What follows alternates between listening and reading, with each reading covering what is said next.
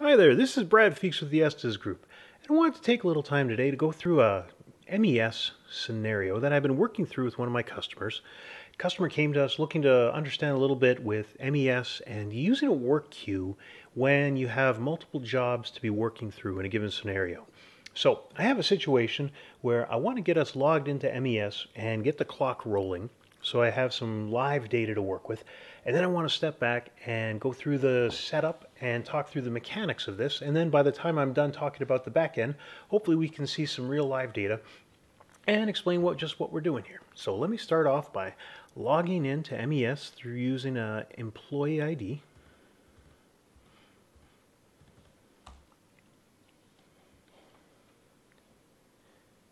As you can see, I have the old-fashioned version of MES here. I'm going to go ahead and launch WorkQueue, and I am going to search for a given resource group. In my example here, we're using the assembly blue cell. So I'm going to go and jump into here, and I'm going to look for a couple of jobs that I have out there that are in the current work queue.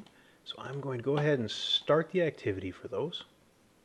And we're doing production. We don't have any setup to do.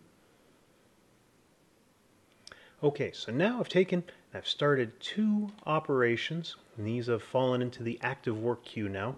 I want to step back a little bit and just talk about what this whole uh, goal of this, this situation was. So the customer that I was working with, they have a situation where they log into multiple jobs concurrently because they are processing a number of, of common parts uh, concurrently. They are trying to understand what they could do from an MES standpoint to try and make that work. And specifically, they wanted to know how that affects the costing and the back end when all those different uh, labor entries come together. So what I did is I built a little bit of a scenario. I took two parts, BDF uh, and BDF01, very similar parts to each other, both manufactured parts with a revision, and some similar uh, operations on both of them. All right, real simple single operation uh, methods. And I created two jobs for them.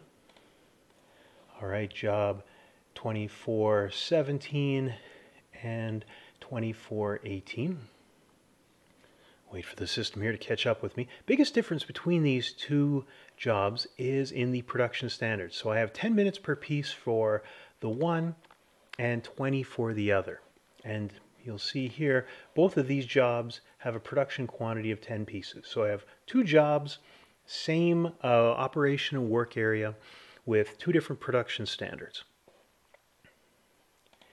Now, the employee that I logged in as has a rate of uh, 40, and the resource group has a base rate, labor rate of 50, and a burden rate of 100%.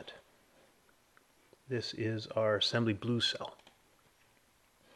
So that being the case, let's assume that this uh, worker was working on these different items and now went to end activity.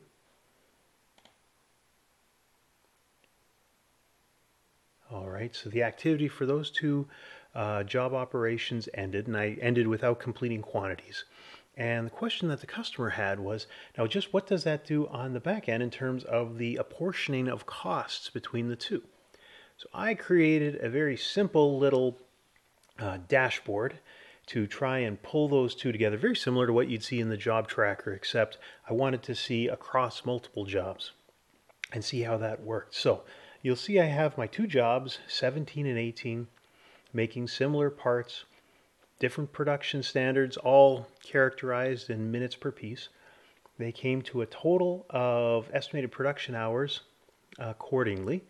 And so what you see here is when you take multiple operations that are worked on at the same time, they create a, a total amount of time that you worked, but you take the total hours of 0.05, it got apportioned proportionally to the estimated production hours. So more of the total hours got apportioned to this job where the production standard is 20 minutes per piece versus only 0.02 being apportioned to the job where you were doing a, a labor standard of 10 minutes per piece, which means from a cost standpoint, given that our production and burden rates are the same, uh, different la- uh, actual labor and burden costs are applied to each of those operations. So one job takes more of the cost because the assumption is you're taking a larger percentage of that labor time.